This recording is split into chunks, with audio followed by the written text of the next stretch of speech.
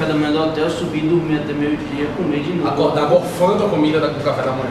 Aí comi de novo, passando a semana, já começa a Gilmar, já, já acorda a gente no hotel, chamando pra ir almoçar, a gente já, já tá empanturrado do café da manhã, que vai de 6 e meia até 8 horas comendo.